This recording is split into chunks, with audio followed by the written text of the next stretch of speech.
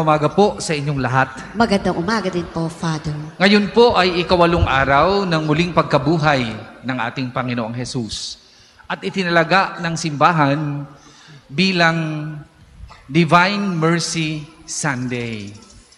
Ngayon pong ating ipinagdiriwang Divine Mercy Sunday, inaanyayahan tayong lahat na tularan ang Diyos Ama, ang ating Panginoong Heso Kristo din, sa biyaya ng banal na Espiritu upang tayong lahat ay maging mahabagin katulad ng Diyos Ama. Kasama po ng ating mga personal na intensyon, sama-sama tayong magpuri at magpasalamat sa Diyos, simulan natin ang pagdiriwang. Sa ngala ng Ama at ng Anak at ng Espiritu Santo, Amen. sumainyo ang Panginoon. At sumainyo rin. Mga kapatid, atin munang pagsisihan ang ating mga nagawang pagkukulang at pagkakasala, lalo na sa maraming beses na tayo'y nang husga sa ating kapwa, hindi natutong nagpatawad at naging matigas ang ating mga puso, at hindi rin natutong maging mahabagin sa kapwa. Sabay-sabay nating dasalin, inaamin ko Sa makapangyarihang Diyos. At, At sa inyo, mga kapatid, na lubha akong nagkasala. sa isip, sa salita at sa gawa, at sa aking pagkukulang. Kaya isinasamo ko sa mahal na Birheng Maria, sa lahat ng mga anghel at mga banal, at sa inyo, mga kapatid, na ako'y panalangin sa Panginoong ating Diyos. Kawan tayo ng makapangyarihang Diyos, patawarin tayo sa ating mga kasalanan at patnubayan tayo sa buhay na walang hanggan. Amen.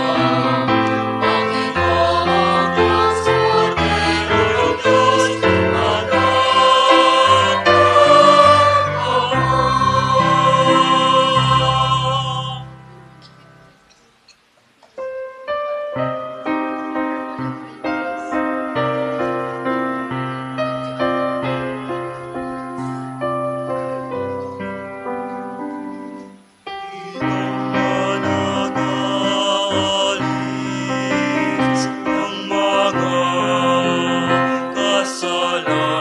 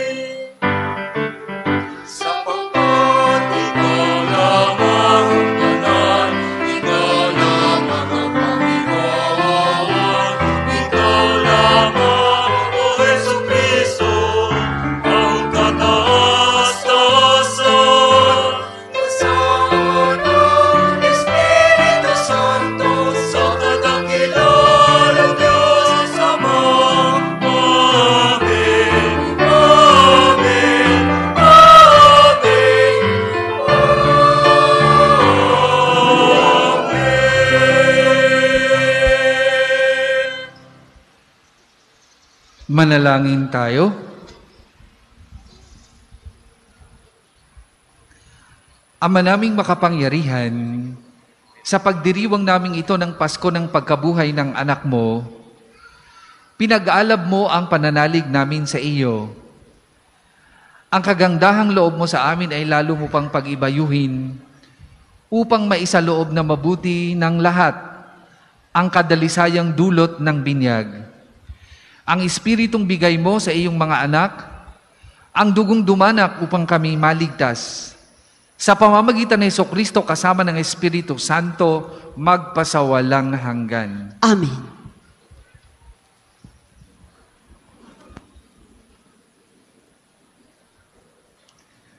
Pagbasa mula sa mga gawa ng mga apostol.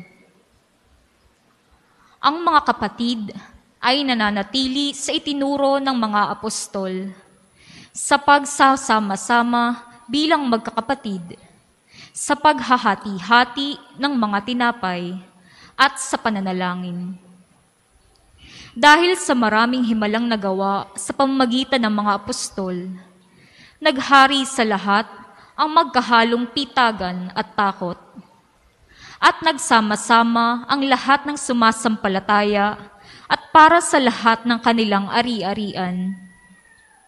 Pinagbibili nila ito at pinagbilhan ay pinamamahagi sa lahat ayon sa pangailangan ng bawat isa. Araw-araw, sila'y nagkakatipon sa templo naghahati-hati ng tinapay sa kanilang tahanan, at nagsasalo-salong masaya ang kalooban. Nagpupuri sila sa Diyos at kinalulugdan ng lahat ng tao. Bawat araw ay dinararagdag sa kanila ng Panginoon ang inililigtas. Ang salita ng Diyos. Salamat sa Diyos.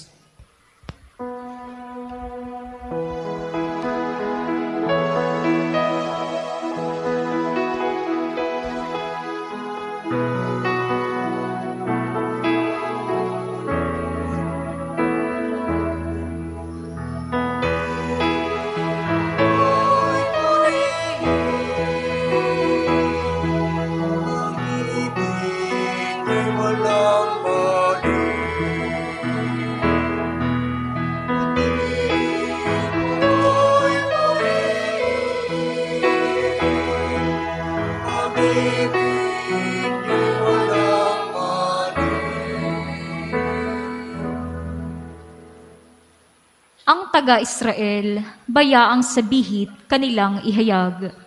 Ang pag-ibig ng Diyos ay hindi kukupas.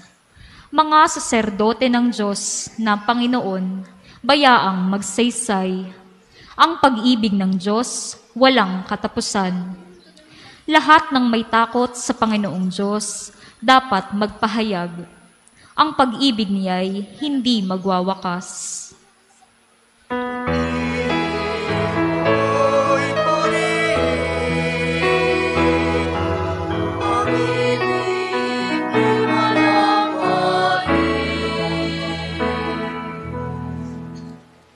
Sinalakay ako't halos magtagumpay ang mga kaaway. Dahilan sa puon, sila'y napipilan.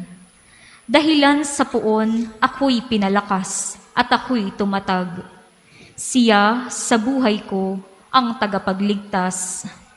Dinggi ng masayang sigawan sa tolda ng mga hinirang. Panginooy siyang lakas na patnubay. ang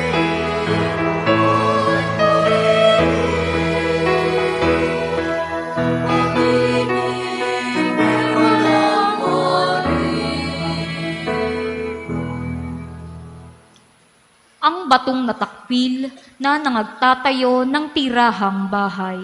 Sa lahat ng batoy, higit na mahusay.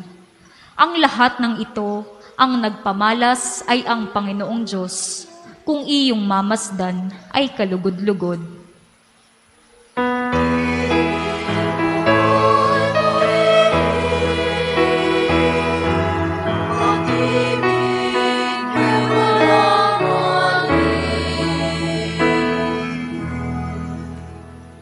Pagbasa mula sa unang sulat ni Apostol San Pedro. Purihin natin ang Diyos at Ama ng ating Panginoong Heso Kristo.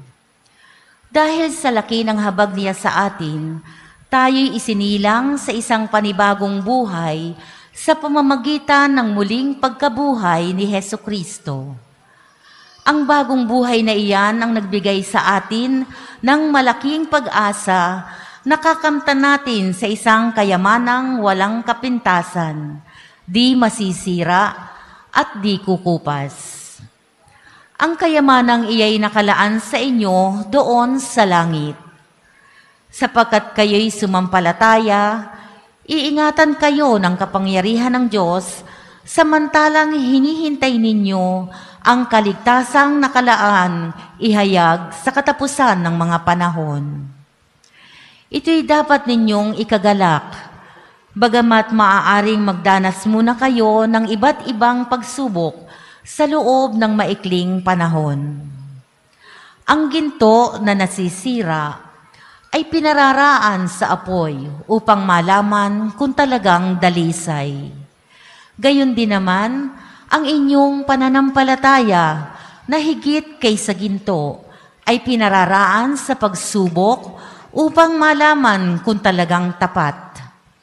Sa gayon, kayo'y papupurihan, dadakilain, at pararangalan sa araw na mahayag si Heso Kristo. Hindi ninyo siya nakita kailanman, ngunit siya'y inibig na ninyo. Hindi pa rin ninyo siya nakikita magpahanggang ngayon, ngunit nananalig na kayo sa Kanya. Dahil dito'y nag-uumapaw na sa inyong puso ang kagalakang di kayang ilarawan sa salita. Sapagkat inaani na ninyo ang bunga ng inyong pananampalataya, ang inyong kaligtasan. Ang salita ng Diyos. Salamat sa Diyos. Magsitayo po ang lahat.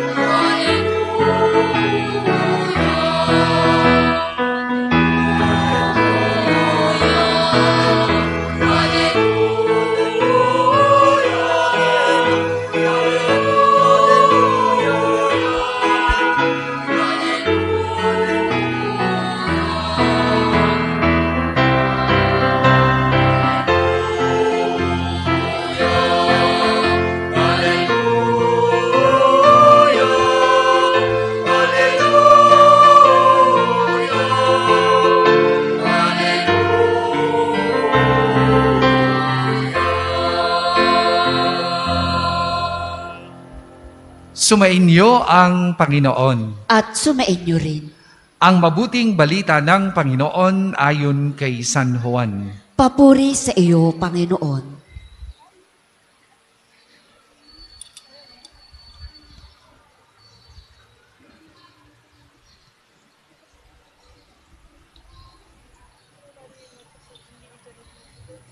Kinagabihan ng linggo ding yon, ang mga alagad ay nagkakatipon. Nakapinid ang mga pinto ng bahay na kanilang pinagtitipunan dahil sa takot nila sa mga Hudyo. Dumating si Jesus at tumayo sa gitna nila. Sumainyo ang kapayapaan, sabi niya. Pagkasabi nito, ipinakita niya ang kanyang mga kamay at ang kanyang tagiliran. Tuwang-tuwa ang mga alagad nang makita ang Panginoon. Sinabi naman ni Jesus, Sumainyo ang kapayapaan. Kung paanong sinugo ako ng Ama, gayon din naman sinusugo ko kayo. Pagkatapos sila'y hiningahan niya at sinabi, Tanggapin ninyo ang Espiritu Santo. Ang patawarin ninyo sa kanilang mga kasalanan ay pinatawad na nga. Ang hindi ninyo patawarin ay hindi nga pinatawad. Ngunit si Tomas na tinaguri ang kambal, isa sa labindalawa, ay wala roon nang dumating si Jesus. Kaya't sinabi sa kanya ng ibang alagad, Nakita namin ang Panginoon. Sumagot si Tomas, Hindi ako maniniwala hanggat di ko nakikita ang butas ng mga pako sa kanyang mga kamay at naisusuot ko dito ang aking daliri at hanggat hindi ko na ipapasok ang aking kamay sa kanyang tagiliran. Makalipas ang walong araw, muling nagkatipon sa loob ng bahay ang mga alagad, kasama nila sa Tomas. Nakapinid ang mga pinto, ngunit pumasok si Jesus at tumayo sa gitna nila. Sinabi niya, Sumainyo ang kapayapaan. Saka sinabi kay Tomas, Tingnan mo ang aking mga kamay at ilapit dito ang iyong daliri. Ipasok mo ang iyong kamay sa aking tagiliran. Huwag ka nang mag-alilangan. Maniwala ka na. Sumagot si Tomas, Panginoon ko at Diyos ko. Sinabi sa kanya ni Jesus, Naniniwala ka na ba sapagkat nakita mo ako? Mapapalad ang mga niniwala kahit hindi nila ako nakikita. Marami pang kababalaghang ginawa sa Jesus na nasaksihan ng mga alagad. Ngunit hindi ito natatala sa aklat na ito. Ang mga natala rito'y sinulat upang sumampalataya kayong si Jesus, ang Mesiyas, ang anak ng Diyos, at sa gayoy magkaroon ng buhay sa pamamagitan niya. Mga kapatid, ang mabuting balita ng Panginoon. Pinupuri ka namin, Panginoong Heso Kristo. Magsiupo po ang lahat. Magandang umaga pong muli sa inyong lahat. Magandang umaga din po, Father. Yes or no? yes or no? Kayo ba ay nakapanghusga na sa inyong kapwa? Yes, yes na yes. Talaga naman nga, tunay naman nga po. Sa mga hindi sinasadyang pagkakataon, at huwag nga sanang sinasadya, maraming beses na tayo'y nakakapanghusga ng ibang kapwa kahit hindi natin alam ang punot dulo ng kanilang kwento, right? Yes na yes. Ano ho? Ang paghatol ay hindi lamang bahagi ng kalakaran ng buhay ng tao. Ito rin ay sakit ng lipunang ating ginagalawan.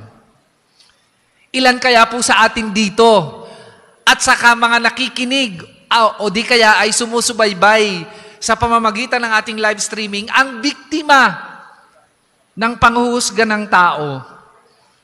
Di ba? Kaming mga pari ay biktima din. Naka, nakatabi laang sa isang magandang chicks. Hinuhusgahan na kaagad na babaero ang isang pari. Nakasabay lang ang isang uh, altar boy. Hinuhusgahan na kaagad. O di kaya'y nakasama lang ang kumain sa labas. Ang isa sa mga pinuno ng uh, pastoral council, ikinakabit na kaagad. Ganyan ang kultura natin. At masa, madami sa atin, whether we admit it or not, gawain ito bilang Kristiyano. Yes or no? Yes, yes na yes. Aminin natin na marami sa atin ay guilty sa mga palaalang ito.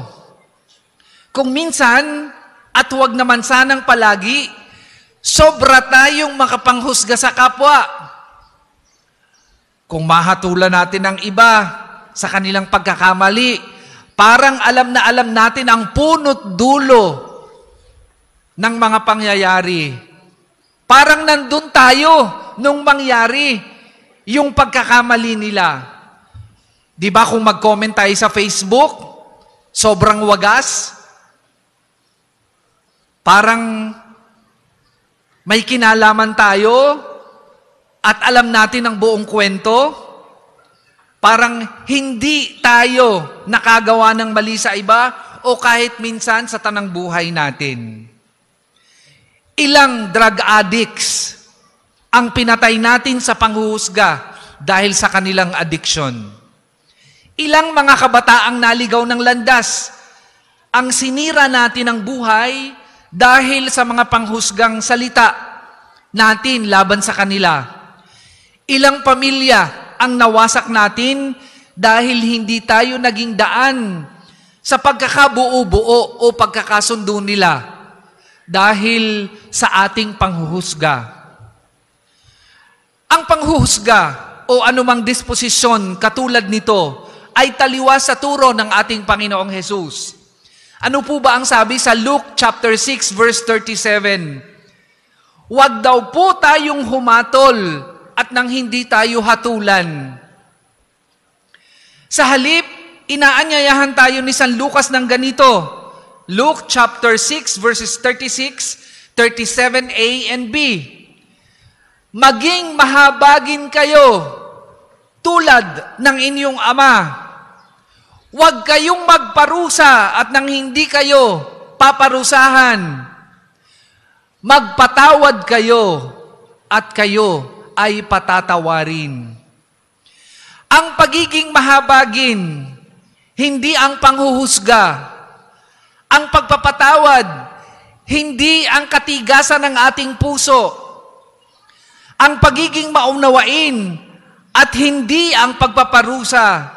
Ang katangiang inaasahan sa atin bilang mga naghanda, sumama, at nagpakasakit sa pagpahihirap, pagkamatay at muling pagkabuhay ng ating Panginoong Hesus.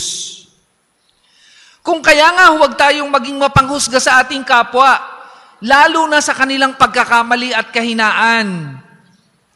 Kung minsan, ito lang ang ating tinitingnan sa iba.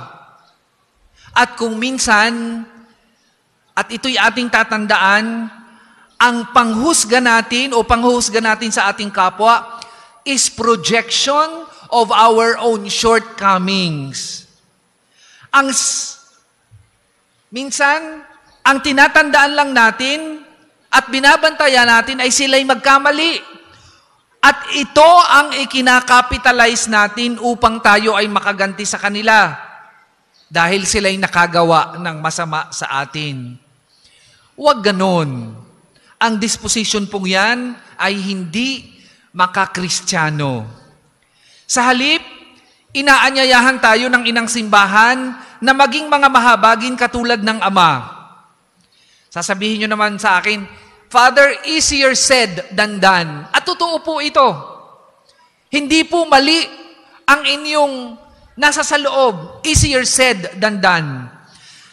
Kaya nga po, at lalo na kung ito ay naging sistema na ng buhay natin, kung kaya nga kailangan natin ng kabukasan ng puso at biyaya ng muling pagkabuhay ng ating Panginoong Yesus upang baguhin ng kanyang biyaya ang mga nakasanayan nating disposisyon o ugali na hindi akma sa buhay natin bilang mga binyagan katulad ng panghuhusga sa kapwa at katigasan ng puso. Akmang-akma sa mga sa panawagan ng simbahan ngayong linggo as we celebrate Divine Mercy Sunday on the second Sunday of Easter. Noon pong magduda si Tomas, katulad ng narinig natin sa ating mabuting balita, sa muling pagkabuhay ng ating Panginoong Hesus, binigyan siya ng pagkakataon ng Diyos upang mabago ang kanyang paniniwala.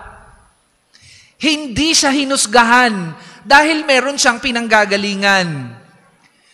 Thomas, prior to crucifixion, was a strong believer of Jesus. He was even eager to join Jesus and died with him on the cross. Ganito si Tomas, bago ipako at mamatay ang ating Panginoong Jesus sa krus. Bakit nagbago? His faith was betrayed. He had seen the worst of his fears when he saw the crucifixion and death of Jesus on the cross. At hindi niya inaasahan ito. He felt betrayed kasi ang kanyang pagkaunawa ay si Jesus ay katulad ni Superman na magagapi ang kanyang mga kaaway habang ipinapako sa krus at hindi mamamatay. Kaya nung makita niyang nalagutan ng hininga ang ating Panginoong Jesus, hanggang sa mamatay, nawalan siya ng loob, natakot, at kinwestiyon ang kanyang paniniwala sa muling pagkabuhay ng ating Panginoong Jesus. Iba ang nangyari sa kanyang inaasahan. Namatay si Jesus. Iba ang kanyang natunghayan sa apana, paanan ng krus. Dito nagmumula ang kanyang pagdududa. Hindi sa wala siyang paniniwala. Meron, but felt betrayed because of wrong understanding and expectations. At ganyan tayo malimit. Nakapanghuhusga tayo dahil sa mali nating pangunawa at maling expectation. Kung kaya nga hindi ka agad tayo dapat maniwala sa mga sabi-sabi ng iba. Katulad ni Tomas, kung minsan, dahil sa mali nating expectation and the understanding of a situation, madali tayong manghusga ng iba. Ganito din ang nangyari kay Tomas. Hindi kaagad niya pinaniwalaan ang testimony ng kanyang kapwa-disipulo. Pero hindi siya hinusgahan ng ating Panginoong Jesus. Hanggang sa magpakita sa kanya si Jesus na muling nabuhay at inanyayahan siyang ipasok ang kanyang kamay sa mga butas ng kanyang o sa mga butas ng kanyang mga sugat katulad ng kanyang hiniling. Hindi siya pinarusahan. Ang tinanggap niya ay pangunawa at habag mula sa Diyos na naging daan upang magbago ang kanyang paninindigan. Mga kapatid, ngayong Divine Mercy Sunday, muli tayong pinapaalalahanan ng inang simbahan na sundin ang turo ni Kristo. Do not judge, and you will not judge. Forgive, and you will be forgiven. Be merciful, just as your Father is merciful. Tayo pong lahat Magsitayo po, ay magsitayo. Sumasampalataya ako Sa Diyos amang makapangyarihan sa lahat, na may gawa ng langit at lupa. Sumasampalataya ako kay Heso Kristo, iisang anak ng Diyos, Panginoon nating lahat. Nagkatawang tao siya lalang ng Espiritu Santo. Ipinanganak ni Santa Mariang Berhen. Pinagpakasakit ni Poncio Pilato. Ipinako sa krus na matay at inilibing. Nanaog sa kinaroroonan ng mga yumao nang may ikatlong araw na buhay na maguli, umakyat sa langit, naluklok sa kanan ng Diyos amang makapangyarihan sa lahat.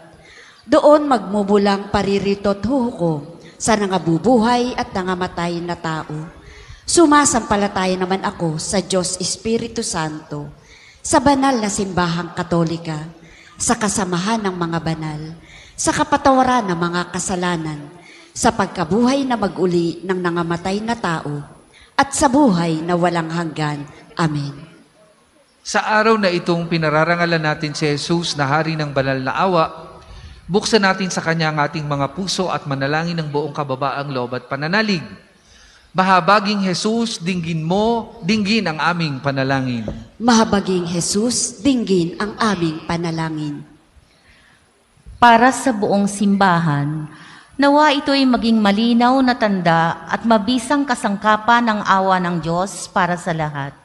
Mga sumasampalataya man at hindi, manalangin tayo. Mahabaging Jesus, dinggin ang aming panalangin. Para kay Santo Papa Francisco at sa iba pang pinuno ng simbahan, Sila nawa ay maging inspirasyon sa lahat ng sumasampalataya sa pamamagitan ng kanilang katapatan sa kanilang paglilingkod. Manalangin tayo. Mahabaging Jesus, dinggin ang aming panalangin. Para sa mga nagpapakumpisal, nawa sila'y maging laging karapat-dapat na kasangkapan ng mahabaging pagmamahal ni Kristo. Manalangin tayo. Mahabaging Jesus, dinggin ang aming panalangin. Para sa mga tulad ni Tomas na di makapaniwala sa muling pagkabuhay, nawa mapaglabanan nila ang kanilang pag-aalinlangan sa tulong ng kanilang pamayanang Kristiyano. Manalangin tayo. Mahabaging Jesus, dinggin ang aming panalangin. para sa lahat ng may karamdamang pisikal, psikolohikal at moral. Nawa makalasap sila ng ginhawat lunas sa pagkakawang gawa ng mga sumasampalataya. Manalangin tayo Mahabaging Jesus, dinggin ang aming panalangin. para sa lahat ng kasapi sa ating parokya. Gaya ng mga unang Kristiyano, manatili nawa tayong tapat sa mga turo ng mga apostol, masiglang lumahok sa panlinggong Eukaristiya at magbahagi sa mga nangangailangan ng mga biyayang kaloob sa atin ng Diyos. Manalangin tayo. Mahabaging Jesus, dinggin ang aming panalangin. Manalangin tayo. Maawaing Jesus, salamat sa mga kaloob ng banal na Espiritu, iyong kapayapaan at pagpapatawad. Nawa, ilapit kami nito sa iyo at sa isa't isa at gawin kaming kasangkapan ng iyong pagmamahal para sa lahat ng aming mga kapatid. Ikaw na nabubuhay at nagahari ng walang hanggan. Amen. Magsiupo po ang lahat. Para po sa mga maghahandog na sobre, pakihulog na lamang po sa buslo.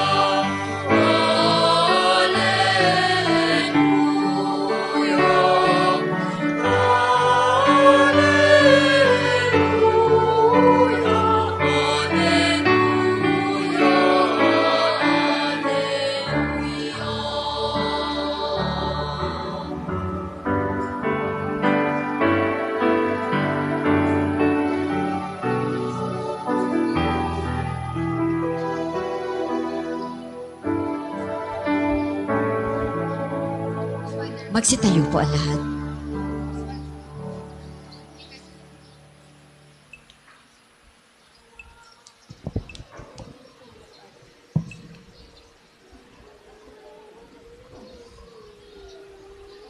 Manalangin kay mga kapatid upang ang paghahay natin ay kalugdan ng Diyos amang makapangyarihan. Tanggapin nawa ng Panginoon itong paghahain sa iyong mga kamay, sa kapurihan niya at karangalan sa ating kapakinabangan at sa buong sambayanan niyang banal. Ama naming lumikha, tunghayan mo ang mga alay ng iyong sambayanan upang ang iyong binigyan ng bagong buhay sa pagsampalataya sa iyong ngalan at pagkadalisay noong sila'y binyagan ay makapakinabang sa ligayang walang katapusan sa pamamagitan ng Kristo kasama ng Espiritu Santo magpasawalang hanggan. Amen. Sumainyo ang Panginoon. At sumainyo rin. Itaas sa Diyos ang inyong puso at diwa. Itinaas na namin sa Panginoon. Pasalamatan natin ang Panginoong ating Diyos. Marapat na siya ay pasalamatan. Ama naming makapangyarihan, tunay ngang marapat na ikaw ay aming pasalamatan. Ngayong ipinagdiriwang ang paghahain ng Mesiyas, ang maamong tupan na tumubo sa aming lahat. Sa paghahain ng sariling buhay at sa pagkabuhay ng anak mong mahal, nabuksang ganap ang iyong tahanan at kaming pinaghaharian mo'y naging kasambahay. Sa pagkamatay niya sa krus, nalupig ang kamatayan, sa kanyang pagkabuhay, naging buhay siya ng tanan. Kaya kaisa ng mga anghel na nagsisiawit ng papuri sa iyo, nang walang humpay sa kalangitan, kami nagbubunyi sa iyong kadakilaan.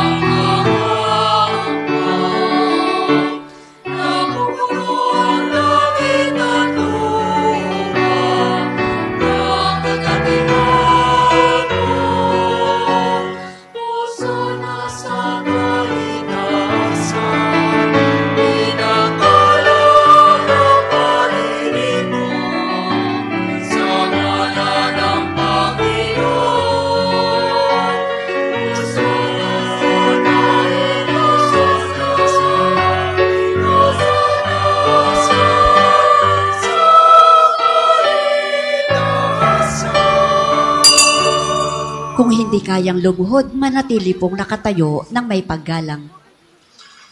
Ama naming banal, ikaw ang bukal ng tanang kabanalan, kaya't sa pamamagitan ng iyong Espiritu gawin mong banal ang mga kaloob na ito, upang para sa aming maging katawan at dugo ng aming Panginoong Heso Kristo. Bago niya pinigtiis ang kusang loob na maging handog, hinawakan niyang tinapay, pinasalamatan kanya. Pinaghati-hati niya yon, iniabot sa kanyang mga alagad at sinabi, Tanggapin ninyong lahat ito at kanin. Ito ang aking katawan na ihahandog para sa inyo.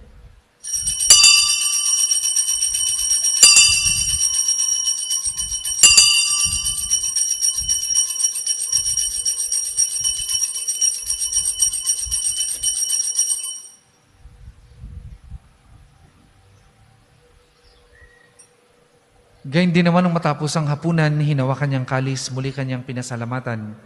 Iniabot niya ang kalis sa kanyang mga alagad at sinabi, Tanggapin ninyong lahat ito at inumin. Ito ang kalis ng aking dugo, ng bagot walang hanggang tipan. Ang aking dugo na ibubuhos para sa inyo at para sa lahat. Sa ikapagpapatawad ng mga kasalanan, gawin ninyo ito sa pag-alaala sa akin.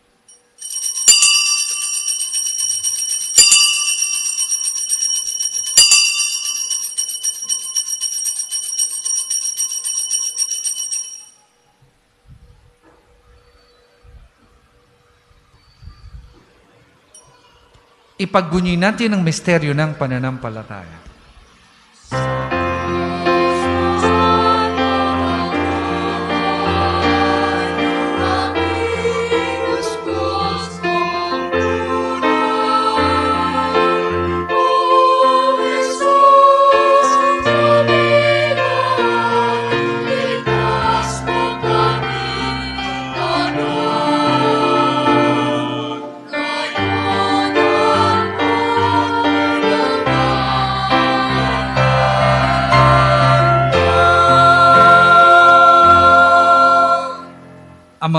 Ginagawa namin yan ng pag-alaala sa pagkamatay at muling pagkabuhay ng iyong anak. Kaya tinaali namin sa iyong tinapay na nagbibigay buhay at ang kalis na nagkakaloob ng kaligtasan. Kami nagpapasalamat dahil kami iyong minarapat na tumayo sa harap mo para maglingkod sa iyo. Sinasamo namin kami magsasalo-salo sa katawan at dugo ni Kristo ay mabuklod sa pagkakaisa sa magitan ng Espiritu Santo. Amalingapin mo yung simbahang laganap sa buong daigdig.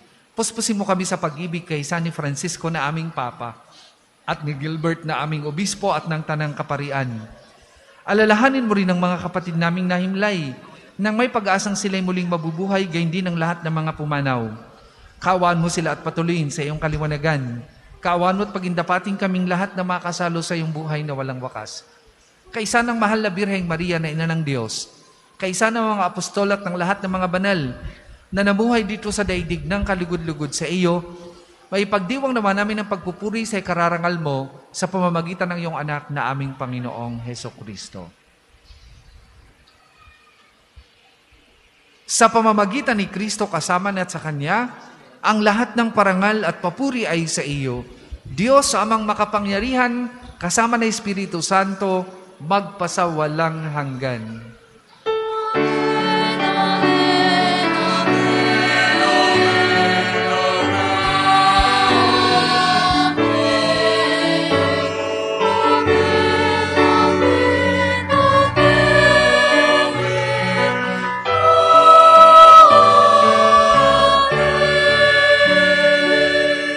Magsitayo po ang lahat. Sa tagubili naman nakagagaling na utos at turo ni Jesus na Panginoon natin at Diyos, ipahayag po natin ng lakas loob.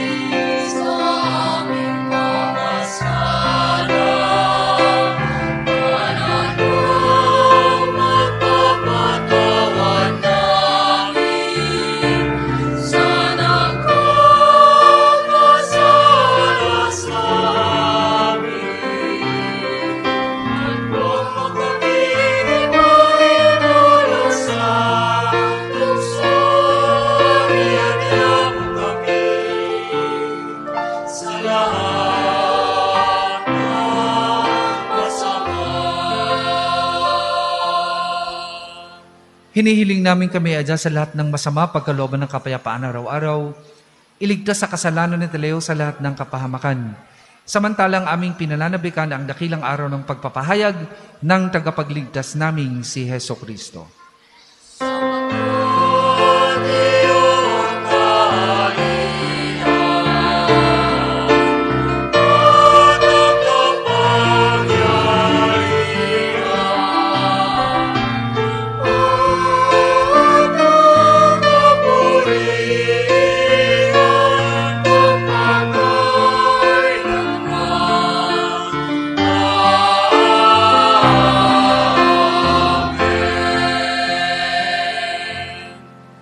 Kristo, sinabi mo sa mga apostol, kapayapaan ang iniiwan ko sa inyo, ang aking kapayapaan ang ibinibigay ko sa inyo. Tunghayan mo ang aming pananampalataya at huwag ang aming mga pagkakasala. Pagkalooban mo kami ng kapayapaan at pagkakaisa ayon sa iyong kalooban, kasama ng Espiritu Santo, magpasawalang hanggan. Amen. Ang kapayapaan ng Panginoon ay lagi pong sumainyong lahat. At sumain niyo rin. Magbigayan po kayo at maghangad ng kapayapaan sa isa't isa.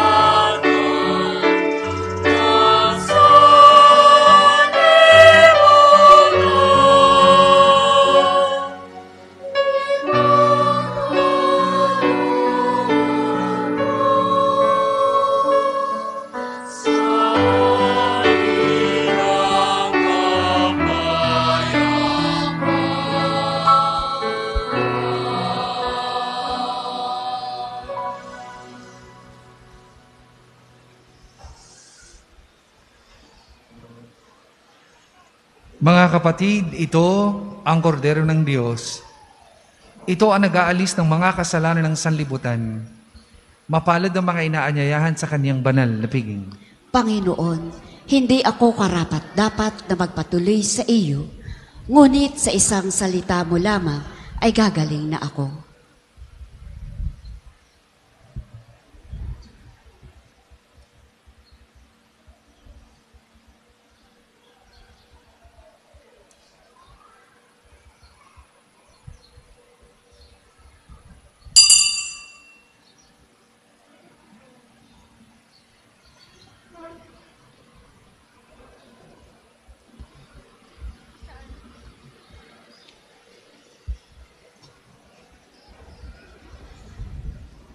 Ang katawan ni Kristo, Amen.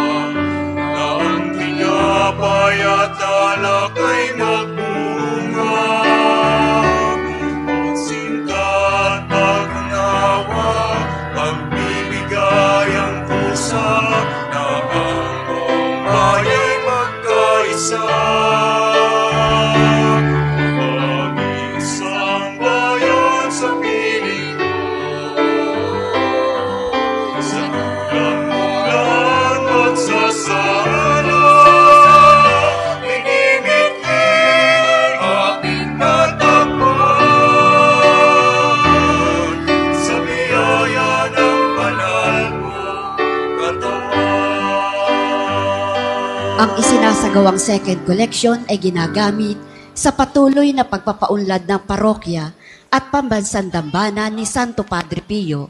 Salamat po sa inyong handog.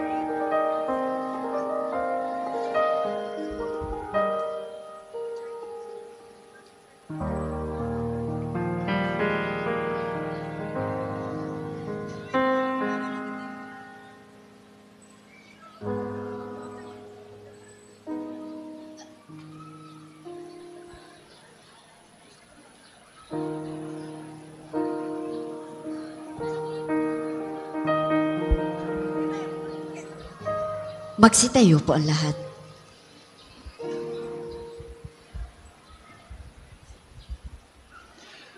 Manalangin tayo. Ama naming mapagmahal, ipagkaloob mong ang aming pakikinabang sa banal na piging ng Pasko ng Pagkabuhay ay patuloy na umiral sa aming kalooban sa pamamagitan ng Yeso Kristo kasama ng Espiritu Santo magpasawalang hanggan. Amen. Panalangin ng pagtitiwala kay Santo Padre Pio, tayo pong lahat. Padre Pio, taga Petrelcina, mongheng banal, pintakasing santo ng milenyong kasalukuyan, gabay namin sa pagtahak sa landasing makalangit, takbuhan sa pangangailangan, huwara ng pagtitiis. Sa iyo namin inilalapit aming mga kagipitan. Sa iyo po ibinibilin kalusugan at kabuhayan.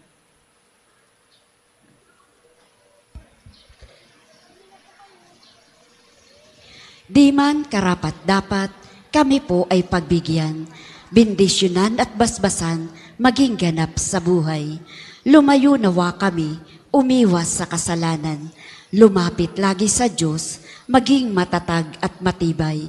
Sa mabuting balita ng pagliligtas, turuan mo kami nawa, sa tuwi na ay makinig, magnilay at sumampalataya. Amin pong pakiusap itong mga kahilingan. Puso ay nagsisisi, nagtitikang taimtiman.